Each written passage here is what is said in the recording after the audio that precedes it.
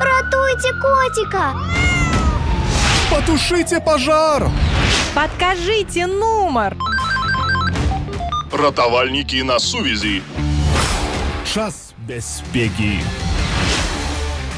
Вітаю з вами Март Худалей. Як заўсёды ў гэты час разважаем пра самае галоўнае, ну а ў нашай студыі госць работнік цэнтра прапаганды мінскага гарадскога ўправлення міністэрства па надзвычайных сітуацыях Александр Папко. Правітанне Саш. Всем привет.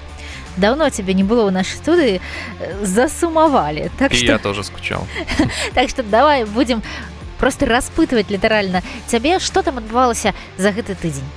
Так, ну, как всегда, пожары не прекращаются, к сожалению. Вот, например, 12 октября, вот неделю назад, в обед на 112 поступило сообщение о загорании на кровле детского сада, вот на улице Радужной. По прибытии работников МЧС стало известно, что при проведении ремонтных работ на кровле здания с использованием такой газовой горелки, знаешь, укладывали рубероид и допустили где-то неосторожность, и этот рубероид загорелся.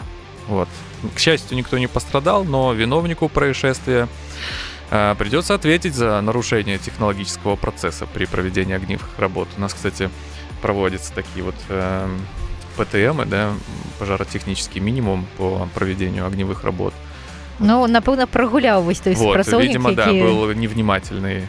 э, Ну и все работники, кто связан с этими работами, должны пройти этот ПТМ. Вот, ну это так, реклама э, услуг, да, можно так сказать. 13 октября э, в 5.21 жильцы дома номер 105 по улице Лынькова сообщили о дыме из квартиры. Прибывшие к месту вызова спасатели увидели дым из окна квартиры на третьем этаже. В ходе тушения было установлено, что произошло загорание э, в жилой комнате дивана. На полу в прихожей был обнаружен и спасен мужчина 72 года рождения. Причина пожара – банальное неосторожное обращение с огнем при курении. В этот же день произошло два автопожара, причем загорелись авто в движении. Первый, Ох, ну, серьезная такая да, э, первый. ситуация. про- Я, я думаю, что было страшно вот водителям. Я тоже всегда так еду и всегда думаю всякие страшилки, вот особенно если по трассе где-то еду. Сам пред- себе пред- пыжаешь. Да, ну я не знаю, это профессионально. Как-то пытаюсь об этом, конечно, не думать, потому что говорят мысли как-то материальные, но... Па- Па-першае, пакуль ты будзеш думаць тебе яшчэ дома самакаткі нагадваю дзесьці там стаіць табе страшна плюс Ну аўто да. Саш пазбаўляйся ўсяго і просто на, на сваіх нагах хадзім Ну ладно давай там, Согласен, э, согласен. может быть. бліжэй да Так, ну аўто. значит, э, случаи какие были. Вот, э, допустим, около 7 утра на Мирошниченко а, загорелся микроавтобус «Мерседес» 2014 года выпуска. А второй случай около 7 вечера только уже вот случился на Тикотского. Там загорелся легковой автомобиль Toyota 99 года выпуска. Вот, 14 октября днем спасатели выезжали на деблокировку из автомобиля водителя, зажатого в нем в результате ДТП. Произошло это по независимости. А, Дело в том, что грузовой автомобиль столкнулся с мачтой уличного освещения. Работники МЧС с использованием аварийно-спасательного инструмента спасли водителя и передали бригаде скорой помощи. А Тот госпитализирован с переломами и чем-то легкой степени. Вот, в пятницу вечером помощь спасателей потребовалась мальчику 2011 года рождения. Его левая нога застряла между металлическими прутьями решетки приямка жилого дома по улице Ангарской 40. Очень такой, кстати, популярный э, вид э, вот этих происшествий, да, среди детей, вот манит их. Я, если честно, тоже вспоминаю так свою молодость. Вот эти решетки, они всегда манили, знаешь, в подвал заглянуть, где-то походить, Ну побегать ногі по на ним. месцы значыць выратавалі Да, цябе но не таксама. попадал, да, в такие, конечно, случаи не попадал, как этот мальчик. Э, С помощью, конечно, специального разжима кусачек ногу мальчика высвободили, ну и после осмотра бригады скорой помощи он был отпущен домой, не пострадал. В субботу в обед работники МЧС отловили ужа в квартире дома номер 37, корпус 2 по улице Алишевского. Ох толькі нядаўна мы Твоя- узгадвалі вось тут у студыі Твоя, да, вот эта страшилка, я помню. Вот, а в квартире на Байкальской, 33, ближе к вечеру, извлекли голубя из вентиляционной шахты на кухне. Саш чакай ну э, з э, галубамі зразумела а вось э, гэтыя рэптылі так бы мовіць Э, як яна там трапіла у дом ёсць нейкая інфармацыя Слушай, ну информации нет, но понятное дело, что сейчас такой м, период, да, где когда вот такие животные, как ужи, как мыши, где-то они пытаются найти какую-то зимовку, куда-то заползти и переждать э, зиму. А, Летучие мыши, кстати, очень много раз выезжали на летучих мышей, тоже подходят в эту категорию. Им надо где-то спрятаться, чтобы э, было там тепло, комфортно. Вот, и поэтому сильно, конечно, не пугайтесь, особенно уже они, они же безвредные, ми- милые ужики. Вот, и летучие мышки тоже, сильно их там ни веником не бейте.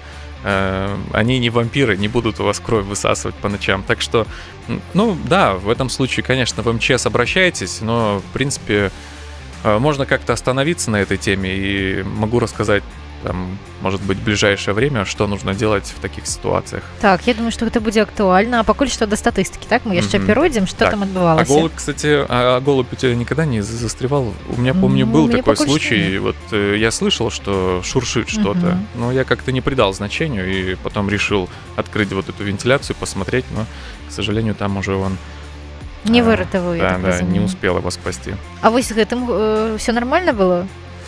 Да, да, все хорошо, живой. Так. ну, В выдатна. этот же день на 112 охранник Минского завода отопительного оборудования сообщил о загорании на проходной. По прибытии огнеборцев было установлено, что в помещении проходной загорелось имущество на площади 4 квадратных метра. Причина загорания пока что устанавливается, но скорее всего это было короткое замыкание электропроводки розетки. Тоже случай э, у всех может произойти. Так что Так што я будьте думаю, што внимательны к своим нагадаем як-небудзь так свои само. проводки к своим розеткам, да. Так, и автомобиль еще горел в субботу вечером по улице Центральной, причем он выгорел так, что даже невозможно сразу было определить его марку. Э, причина в этом случае, скорее всего, поджог. Достаточно много раз спасатели выезжали на подграни пищи на неделе. Вот, и как-то совсем невнимательные стали граждане, можно так сказать. Хотя э, и сам, знаешь, иногда вечером что-нибудь готовишь, там см- засмотрелся ТикТок какой-нибудь. И, э, но, тем не менее, справа, до TikTok. приезда пожарных э, дело не доходило у меня, это точно. Максимум там, что, ну, может, э, чуть-чуть там хлеб в тостере где-то подгорел. А, ну, не знаю, как нужно сильно чем-то увлечься, конечно, хотя знаю. Приведу вот пару примеров. А, в ночь на 16 октября в одной из квартир дома номер 17 по улице Серова горела пища на газовой плите. Виновное лицо, хозяин квартиры, был в состоянии алкогольного опьянения. Ну, вот такая стандартная причина. Да, аналогичная ситуация также произошла в доме 39 по улице Жудро в этот же день. Ну, что можно посоветовать в этом случае? Выпили, наверное- не ешьте, не курите, Нет, наверное, спать, э, альбо вот не так. пейте. Э, закуску нужно приготовить трезвым. Вот хотя бы так. Не знаю, что, что еще посоветовать в этом случае. Э, 16 октября и без автопожара тоже не обошлось. Вечером вот на Глебке задымился легковой автомобиль «Шкода». Э, Причем очень даже, как сказать, молодой, э, 2019 года выпуска. Причина – короткое замыкание. Саша, з чым звязана вось толькі за тыдзень адбылося менавіта з аўто да э, розных сітуацый я маю на увазе э, пажару Магчыма неяк вось гэты перыяд э, спрыяе альбо гэта просто супадзенне ты знаешь, всегда очень часто происходят такие случаи. Ну да, возможно, именно вот по осени, по зиме где-то, когда влажность, какая-то сырость, оно обостряется, если э, какую-то вести статистику. Но, тем не менее, не знаю, как помочь в этом случае гражданам. Ну, наверное, как-то более внимательно относиться к э, техосмотру и проверять не только подвеску, огнетушитель и аптечку, да, как на техосмотре проверять, но и иногда периодически хотя бы раз в год где-то загонять какому-то специалисту электрику, чтобы он проверил на какие-то утечки тока. Возможно, так вы можете обезопасить свой автомобиль, ну и свое имущество. Так, еще один случай хотелось бы рассказать. Э, 17 октября 19.19 в МЧС жильцы дома номер 30, э, корпус 1, сообщили о дыме а, по улице Русьяна, вот э, пропустил, э, сообщили о дыме из квартиры. По приезду спасатели установили, что произошло загорание имущества на площади 9 квадратных метров в этой квартире. До прибытия подразделения МЧС из квартиры самостоятельно вышел хозяин квартиры, который после осмотра бригады скорой помощи был госпитализирован. Значит, у него э, термоингаляционная травма, отравление продуктами горения, конечно же. Ну и человек находился в таком достаточно сильном алкогольном опьянении. До сих пор в больнице находится. Рассматриваемая причина – это неосторожное обращение с огнем при курении хозяином квартиры. Стандартная Ну такая, да. самая распаўсюджаная і стандартная прычына Вот, тоже общались э, и с инспектором, который ведет это дело. Вот, э, какие-то способы Воздействие на людей, ну, не знаю, пока что таких прям действенных нету. Может, как-то ужесточать надо законодательство, да, может гэта- быть, может быть. Вот, но тем не менее, кто любит выпить, покурить, ну хотя бы делайте это не в квартире. І вось напэўна не сидзячы дзесьці каб ну магчыма стоячы не, не так э, можна заснуць вось такі Ну, час может, может быть. Ну, тут, знаешь, осторожность, она такая. Мы вот недавно эксперимент проводили. э, загорится ли диван, допустим, да, вот э, совсем пару дней назад вот на нашем канале Ютуба МЧС Минска в- разместили этот эксперимент. С места пожара называется, можете посмотреть. Вот и э, специально положили там две сигареты на диван и ждали, как он там загорится, не загорится. Вот в итоге э, он начал тлеть, ну, не загорелся на улице, может, прохладно было. И даже после того, как мы убрали сигареты и вроде бы притушили, э, потом посмотрел вот в эту дырочку, а там поролон тлел как бы сам по себе. То есть э, тут даже может человек обронить эту сигарету, понимаешь, э, вовремя заметить, убрать, но оно тление такое дело скрытое, и эм, тут не, не важно, в каком-то там состоянии даже находишься. Ну, в принципе, если ты куришь в квартире, но это всегда опасно. Ну што ж будзем спадзявацца што вось э, і не эксперыментаў вось такіх ніхто не будзе праводзіць у сябе дома так не э, на самай Да, справе мы вось провели, такой если небяспекі ва- не будзе. вам интересно, можете просто посмотреть, э, самостоятельно делать не рекомендуем. Ну а я тым часам нагадаю што наперадзе у нас яшчэ шмат цікавага канешне ж пагуляем як заўсёды мінскае гарадское ўправленне міністэрства па надзвычайных сітуацыях прыходзіць з падарункамі таму калі ласка літаральна праз некалькі хвілін чакайце Час бяспекі. Працягваецца наша праграма. Я нагадаю, што ў студыі госць работнік цэнтра прапаганды мінскага гарадскога ўправлення міністэрства па надзвычайных сітуацыях Александр Папко. І вось тут узгадалі мы яшчэ адзін выпадак, пра які немагчыма не расказаць. Я б э, нават сказала, што гэта шчаслівы выпадак у тым сэнсе, што ўвогуле вось, э, так бы мовіць гераіня яго засталася жывая. Э, Саш, раскажы калі ласка. Так, ну это произошло в Могилевской области, поэтому так, это не совсем наши сводки минские, но нас же слышат по всей стране, правильно? Так что вот смотри, 79 лет, э, бабушка отправилась за грибами в лес Сейчас э, очень много грибов, все так эн- энергично ходят, но, наверное, чуть-чуть забывают про правила безопасности, как вот эта вот бабушка Мне а, падаецца, не што гэта пришла асабліва домой вечером. Асабліва пажылыя людзі напэўна Ну, ну, да, цэнтр да, увагі Мгм. как-то. так не прыйшла дадому Не пришла домой, дочь пенсионерки э, забила тревогу, начала звонить там спасателям, милиции. Он говорит, что пропала, пропала мать, ушла в лес, не вернулась. Вот, э, были задействованы и спасатели, и работники милиции, лесхоза, волонтеры, местные жители отправились на ее поиски. Э, Это произошло вот 13 октября утром она ушла, и нашли ее только 17 октября. Причем, так знаешь, с каждым днем уже надежды таяли. Ну, бабушка все-таки 79 лет, сама где-то одна в лесу, 4 дня, как, без как она там, да, напэўна так без, э, без воды, без еды. Мгм. Вот, спасатель ее нашел, причем нашел он ее в поле в кукурузном. Э, Дело в том, что она вот ну, вышла где-то из леса, набрела на кукурузное поле, и, собственно, вот зерна кукурузы и служили ей пищей все это время. И благодаря им она и как-то выжила. Находилась в сознании, ну, конечно, сильно бессильно и очень хотела, просила пить. Спасатели, конечно, там передали медикам, ее быстро гос- госпитализировали. Вот, и э, исходя из этого случая, хотелось бы задать вопрос. Такая вот уже викторина для Это мы слушателей. для да гульні перайшлі Да. так Э, Какой вот такой самый продолжительный срок э, задокументированной истории, да, э, когда человек находился без еды и без воды? Вот кто этот за человек был? Ну и какое-то краткое описание вот этого случая. М, так я нагад... что- нагадываю для наших слухачоў што мы адказ дасылаем у сполку радыё сталіца вконтакце раздзел паведамлений так той хто першы Мгм. правильно адкажа атрымае падарунак ад мінскага гарадского управлення Э, таму калі ласка пажадаю поспехаў Саш ну а я думаю что вось калі мы так э, узгадалі пра гэтую бабулю э, Юлію давыдаўну так Да-да-да. Э, вось э, калі так адбываецца э, давай хаця б у двух словах ну вось пайшлі вы ў лес заблукалі э, падумаеце вочы разумееце што кошак з рыбамі з вами гэта адзінае што з вами ёсць што рабіць ну магчыма телефон вось э, якія Ну, вот, кстати, День. у бабушки не было телефона с собой. ну, вот, па- и она гэта даже вот позвонить укладніў. не могла. гэта напэўна Но ускладнила даже если бы ситуацию. она позвонила, знаешь, вот э, как человек может объяснить, где он находится? Это хорошо, конечно, что наши технологии уже позволяют найти как-то по координатам где-то примерно хотя бы какой-то радиус действия, где она находится, да, вот если бы был телефон.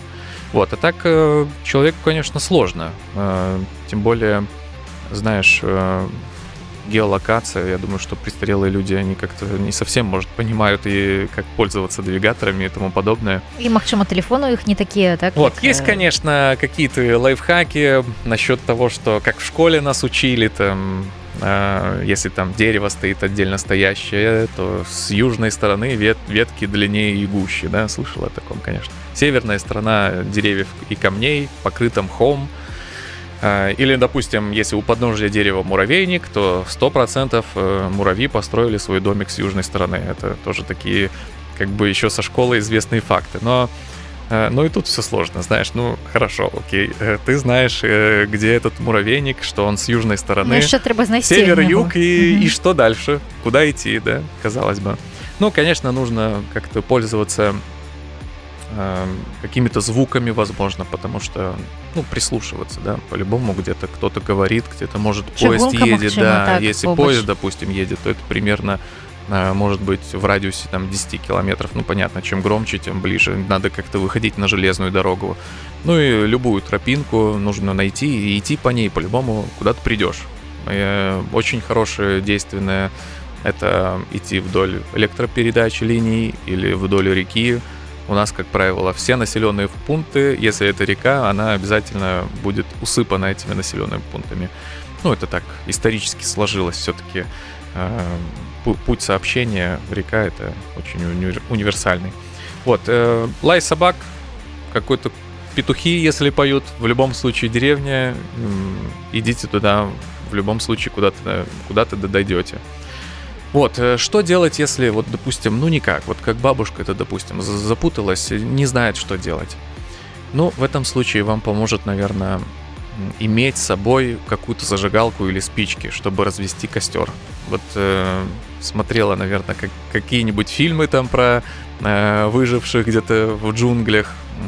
Развести костер для чего? Ну, во-первых, как бы, чтобы и согреться, ночи как бы сейчас уже такие прохладные, но, во-вторых, дым поможет спасателям, э, ну и людям, которые ищут, э, найти по дыму, где вы находитесь.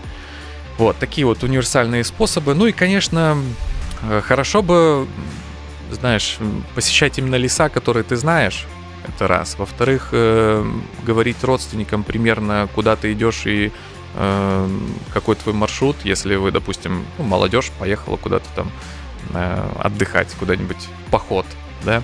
Э, люди, конечно, сейчас все реже и реже так ходят, но я помню, мы прям в школе ходили в походы, карты, маршруты расписывали, обязательно кому-то давали свой маршрут, ну, чтобы, ну, на всякий случай, если вдруг мы там где-то потеряемся или нам нужна будет помощь, вот, чтобы нас э, быстро найти. Но и помимо мобильного, хорошо бы иметь с собой часы, знаешь, по часам тоже можно определять стороны света обязательно, ну и э, когда человек знает время, э, это психологически не так давит сильно, если он ну, сбился уже, совсем не понимает, где он находится. Не зря вот, там, знаешь, насечки люди ставят, когда там где-то э, Робинзон Крузо, он там ставил какие-то насечки на камне. Ну и психологически чувствовался более у- устойчиво, уверенно, что вот, ну, прошел всего лишь там день или еще что-то. А когда человек теряется уже во времени, ну, э, он может и потерять Складана, рассудок. Так. Саш, а вось э, вбачай э, калі э, вось напрыклад все ж таки э, і накіраваўся за гэт самымі грыбамі ў лес напрыклад запас пітной вады ежы нейкай вось варта з сабой браць на э, такі вось выпадак альбо ну Желательно, конечно, конечно, желательно, но кому, Зразумела, кому долгие- охота носить с собой лишнюю какую-то ношу? Мало того, что там два ведра и мешки этих грибов несешь, так еще и с собой воду какую-то. Ну, в любом случае, конечно, водичка не помешает. Если без еды человек может, конечно, прожить намного дольше, чем без воды, но ну, воды может хватить, хватить там на трое суток, может быть, человеке, ну, если без воды, как обычно, сред, средняя статистическая, ну, может, где-то 5 дней там максимум. Бывали, конечно, случаи в истории, что и чуть побольше, чуть, чуть позже узнаем До от речі, наших вось, э, слушателей, какой будет ответ. А, до речі, всё-таки ось на- тут пытаются у нас, а подкажите, больше за 10 дзён ці меньше? Да, больше, больше. Больше всё Там, ж в общем, таки, так. такая ситуация была, что э, как-то прямой такой воды у него не было, но вроде как э, с его показаний говорит, что там слизывал с потолка конденсат и хоть, хоть какая-то да вода вот была у человека. Саша, давай догадаем яшчэ раз пытанне раптам хтосьці не пачуў і э, Так, вопрос, давай. да. Э, Какое самое продолжительное время, вот сколько дней человек находился без воды и без еды? Ну и кто это за человек, сразу будет понятно тогда. Есть конкретное имя, есть ситуация э, и конкретное количество дней. нагадваю суполка радыё сталіц вконтакте раздзел паведамленні літаральна праз некалькі хвілін будзем падводзіць вынікі Бяспекі. стоп гульня кажа мы будзем падводзіць вынікі Саш нагадай пытанне канешне ж адказ Так, хотелось бы знать э, какой-то задокументированный случай, когда человек находился вот прям максимальное количество дней без еды и без воды. Вот, и это Андреас Михович 1 апреля 1979 года. Он был заключен под стражу а, в камеру. Там было трое полицейских, которые думали, что вот двое... Каждый из них думал, что двое их, его уже отпустили. Причем его там даже вроде как по ошибке э, заключили под стражу. Вот, и спустя 18 дней только случайно заметили, что он до сих пор там находился. Вот, э, парень выжил, конечно, пришлось чуть-чуть ему реабилитировать э, свое здоровье. И, э, так что, если кто-то ответил 18 дней, тот э, угадал. ёсць у нас э, правільныя адказы хаця ведаеш варыянтаў вельмі шмат э, самы мінімальны быў 9 дзён самы вялікі э, 50 ну гэта занадта шмат мне А падаецца Где-то што тут бы- серединка получилась, да. Э, так вось ёсць у нас два правільных адказы э, самым самым першым быў Ауген вось ён правильно адразу сказаў яблочка трапіў 18 дзён таму віншуем вас Ауген крыху не паспеў э, ігар яшчэ пасля трэці варыянт таксама правильно быў ад Андрэя але э, першы толькі адзін гэта Ауген таму віншуем вас э, хутка раскажу дзе і як забраць падарунак усім астатнім кажу дзякуй Саш табе таксама Спасибо, дзякуй. спасибо и вам. Готов отдать э, свой подарок э, вот этому человеку. Потом, нашаму пераможцу потом, да, напишешь ему, куда нужно ехать, чтобы его получить. Ну а я нагадаю для наших слухачоў што ў студыі быў госць работнік цэнтра прапаганды мінска гарадскога ўправлення міністэрства па надзвычайных сітуацыях Александр папко И Март Худалей.